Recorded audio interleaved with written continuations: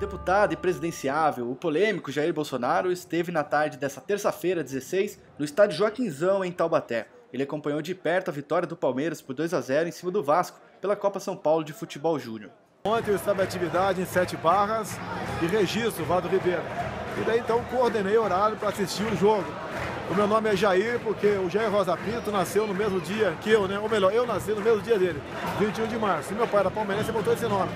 Eu sou palmeirense. Lógico, no Rio de Janeiro eu adotei o Botafogo, o futebol de regata. O político falou sobre pré-campanha e destacou o seu nome nas pesquisas de intenção de votos. Ninguém pode querer disputar umas eleições trabalhando 45 dias antes, é impossível. Tá? Eu tenho rodado o Brasil todo, é, detectando os problemas e quais as soluções sem dinheiro. Tá? E estou tendo sucesso ao longo dos últimos três anos. Tanto é que as pesquisas me dão em segundo lugar e pesquisa sem o Lula me dá em primeiro, em, primeiro lugar disparado. Então, tem que continuar trabalhando, sendo o que eu sempre fui. O povo acredita em mim, sou o capitão do Exército. Bolsonaro falou ainda das acusações levantadas sobre ele de manter funcionário fantasma com dinheiro da Câmara dos Deputados. Foi São Paulo? Tem uma fila limpa, foi São Paulo, ok? Não tem empregado fantasma, não.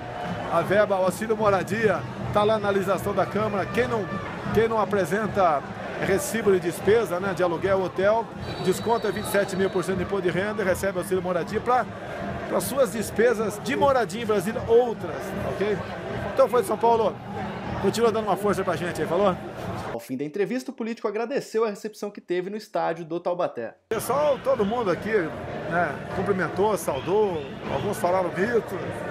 É uma recepção para um político é excepcional. Estou muito feliz. E basicamente aqui é o pessoal de Taubaté que está aqui, né? Parabéns, Valdo Paraíba.